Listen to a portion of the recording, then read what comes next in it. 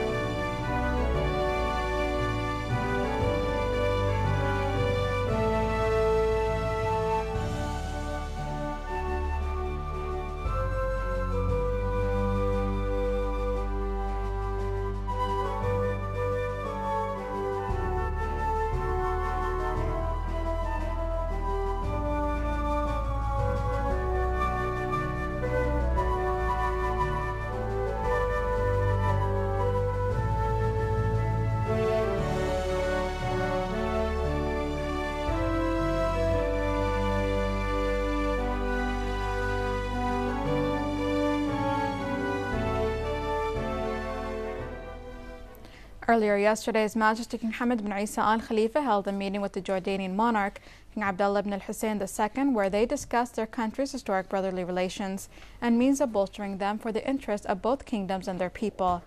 His Majesty welcomed the Jordanian monarch to Bahrain, which reflects the strong relations between the two countries and their keen desire to continue consultation and cooperation between them.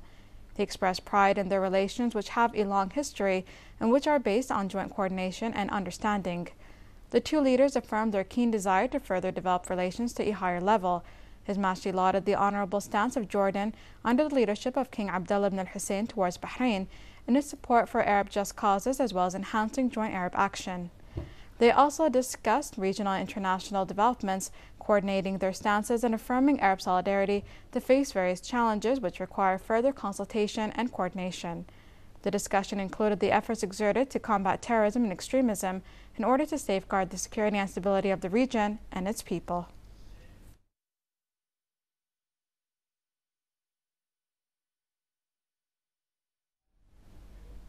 His Royal Highness the Prime Minister Prince Khalifa bin Salman Al Khalifa received at Ghudaybiyah Palace today several state officials, journalists, media personnel, businessmen, academics, and scores of citizens. His Royal Highness the Prime Minister commended the initiatives of the people of Bahrain, which led to excellence in national achievements, highlighting the people's awareness of the challenges facing the region and their understanding of all approaches aiming to achieve higher national interests.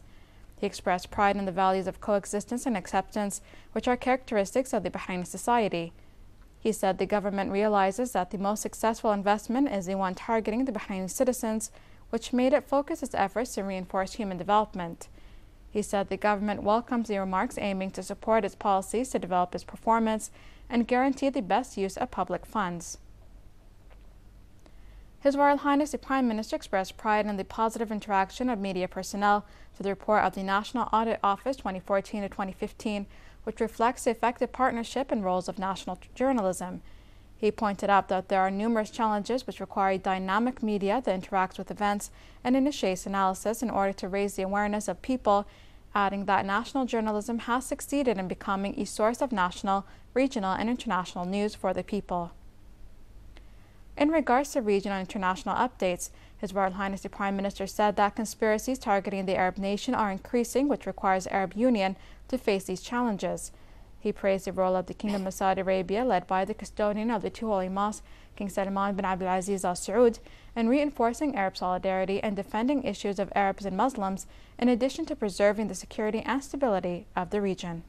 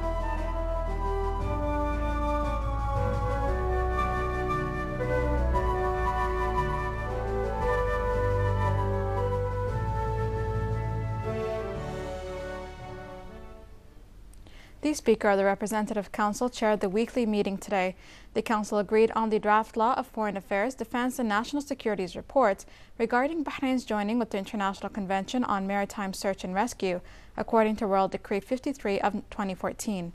The Council also agreed on the reformulation of a permanent parliamentary of quality committees and added members to the various focused issues, including the Palestinians issue and human rights. The meeting also agreed on the reformulation of permanent parliamentary of quality committees of youth and sports.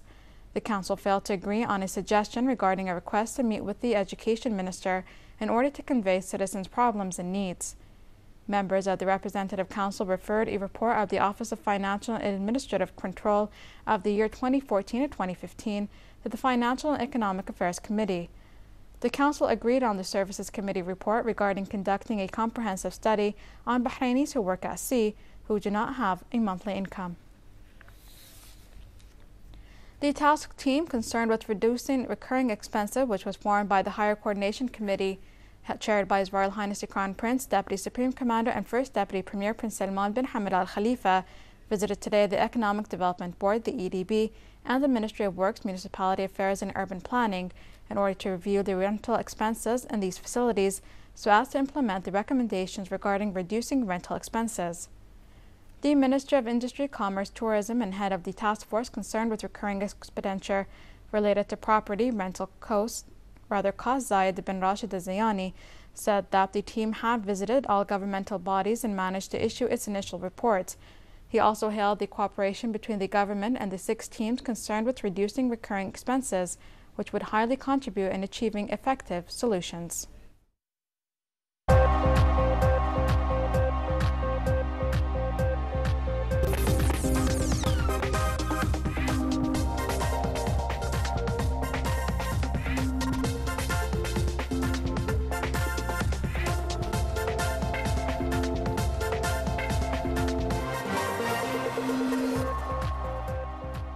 Good evening and welcome to the business news of Bahrain TV. The Bahrain Shares Index closed today at 1,138.97 points, a decrease of 11.75 points below yesterday's closing. This was due to the fall in the commercial banks and industrial sectors, and the commercial banks sector was which was traded in representing 91% of the total value of shares traded. Results indicated that 104 equity transactions took place with a volume of 9,459,012 shares worth a value of 2,167,611 Bahraini dinars.